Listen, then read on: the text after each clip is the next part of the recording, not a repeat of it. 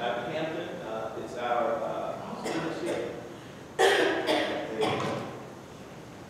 Just test, test. Amen. And I've always wanted to sing a solo, this is much. Repeat after me. What shall I render unto God?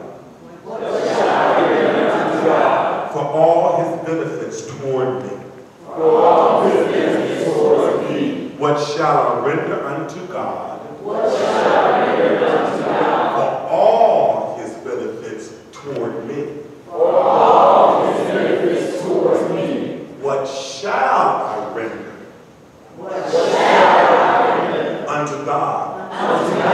For all. His benefits toward me. Look at somebody and you want to ask them a question. What is stewardship? Ask them another question. Do we have to be faithful? Do we have to be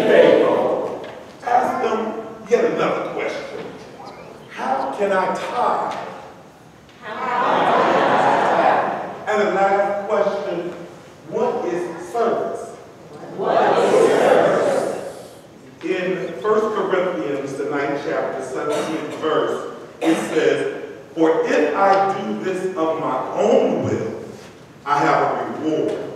But if not of my own will, I am still entrusted with a stewardship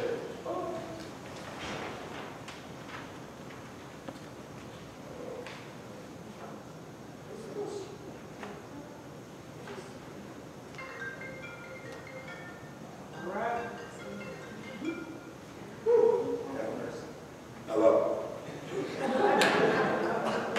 I'm at St. Thomas Episcopal Church. Uh-huh. I really don't have time for this right now. Uh-huh. The piano. Amen. What? People looking at me, you tripping.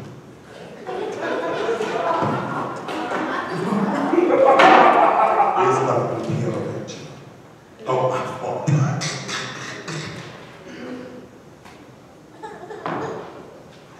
There's nothing but music stand.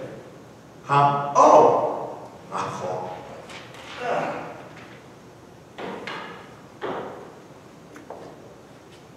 Uh-uh.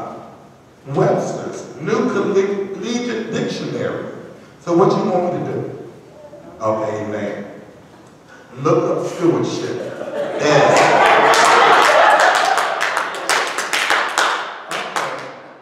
So it says here. The activity or job of protecting and being responsible for something. So what? Read the full definition. Amen. Amen. The office, duties, and obligations of a steward. I don't understand. That's deep. I get that. Oh, read the second one. Oh, okay. Uh, the conducting, yes, like me, amen. Supervising, yes, yes. Or managing of something, especially the careful and responsible management of something entrusted to one's care. Ah, okay, okay.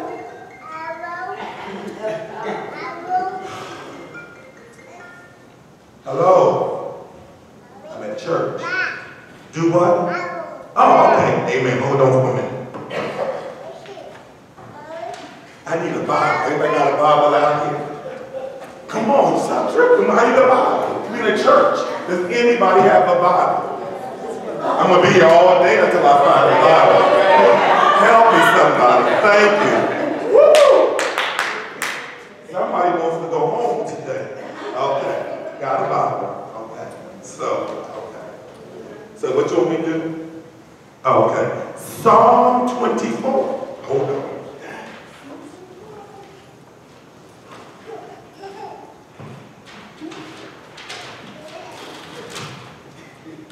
The earth is the Lord's and the fullness thereof, the world and they that dwell therein.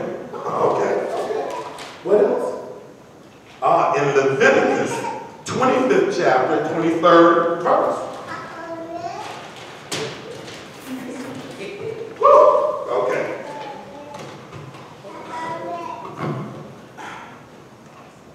The land shall not be sold in perpetuity, for the land is mine, for you are strangers and sojourners with me.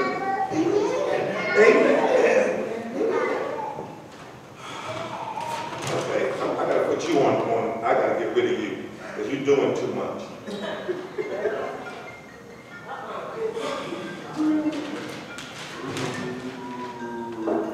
Hello?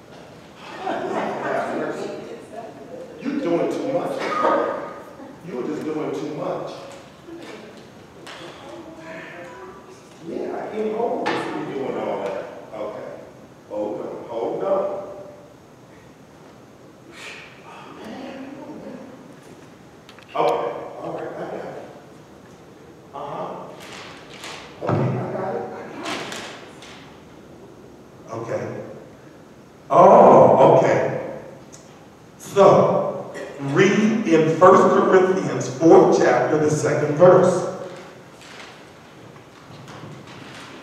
Sorry, y'all, this is the Bible, and you know, when the Lord is talking, he's got to be said. Okay. It says, okay. Moreover, it is required of stewards that they be found faithful. Well, we asked that question earlier about faithfulness. Let me say that again. Moreover, it is required. So you mean we gotta, we have to do it? Oh, okay, all right. We be faithful. Okay, ask them what, okay. Give me one word to describe me. Raise your hand if you have one word to describe me. Amazing. Yeah. One word. I'm- Amazing. Oh, oh, amen. Did you hear that? Did you hear that? Yes. You're outstanding. Did you hear that? Did you hear that? I just need one more word. One more word. Talented. Huh? Talented. Amen. But here's the word that I can describe myself. I'm an optimist. I always believe in, in, in the positive. I just never think negatively. I'm an opportunist. If you give me a moment, I'm doing it. Father Doctor said we want to do a different kind of a service at church. That's all he said. And Sunday we had a drama ministry. Next thing you know, we had disciples sitting for communion. Amen. I'm prosperous in many kind of ways. I don't even have a full-time job, but I owe the government thousands of dollars every year. That lets you know you prosperous, amen. But it's not always with just money. Sometimes it's just with time and with your talent. I'm prosperous because, thanks to St. Thomas, I can play the organ a whole lot better than I used to. I'm prosperous because when I had a baby two years ago, amen. One church didn't want me no more, amen. And I became prosperous because St. Thomas opened your doors and said, we welcome you. But you better watch yourself and come here and do what you do. I'm prosperous because, believe it or not, I really do have friends.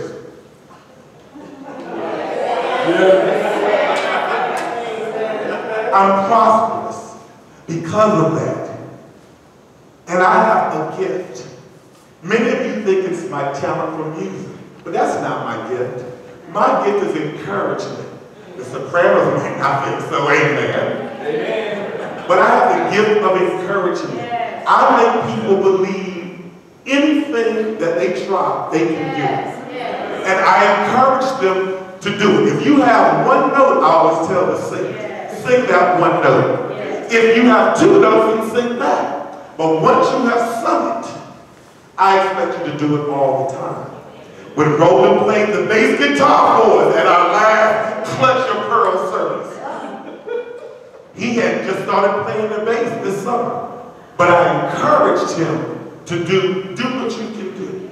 If you can do it with whole notes, do that. So I have that gift of encouragement.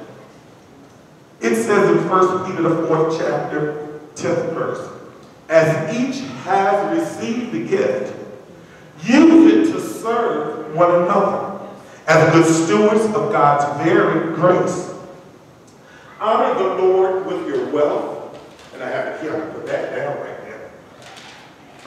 With your wealth, with the first fruits of all your produce. And this talks about tithes. I am very happy to say that here at St. Thomas, I am a tither. I am not a member, I am an employee of St. Thomas Episcopal Church. But I believe so much in the ministry that goes on here, not just the preaching, but all the things that go, crop walk and all that drama. And whatever, I just believe in it, the music ministry, that I, I pledge 10% as a non-member. And what I've learned is from Trinity, they do a thing called 10 10 8, where the first 10% you give to God. The second 10% you give to yourself. That means save it. Put it in account, right? Many of us don't have savings accounts, do we? Uh-huh. And then you live off the other 80%. Isn't that discipline? Yes. I got a new baby. So I've modified that a little bit. So I do 10, 10, 10, 70. And here's what I've had to do. My first 10% I give to God. So no matter if I get a dollar, I just put 10 cents in. If I get a hundred dollars, I put ten dollars in. It doesn't matter, I just give it to God because He gave it to me. And then the next 10, I put in my own bank account.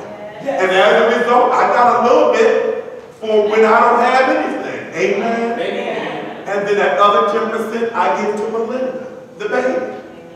You don't have to tell me to pay so much for child. I just give, I give to her what I give to God. So therefore, I then live off of the 70%.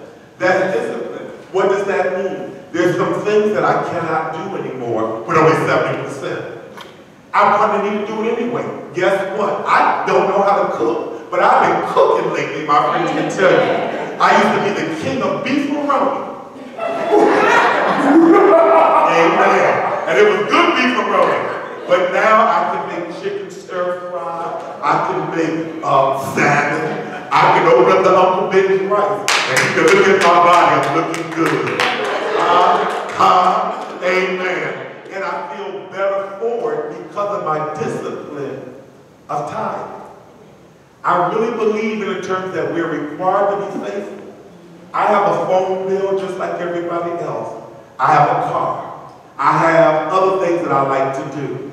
We, we would never have enough money unless we Donald Trump and them boys, right? So the point is, is that you might as well give to God what is his and you will be blessed abundantly. Amen. Finally, we talked about service in Ephesians, the sixth chapter, seventh verse. Rendering service with a good will as to the Lord and not to man. So, you know about the cheerful giver?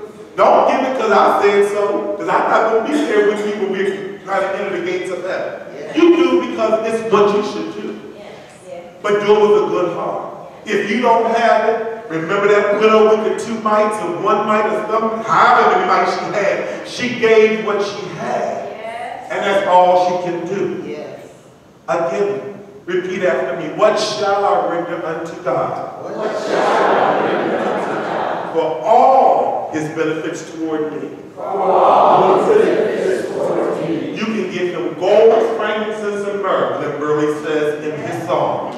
But what if there is no gold? What if there is no frankincense and myrrh?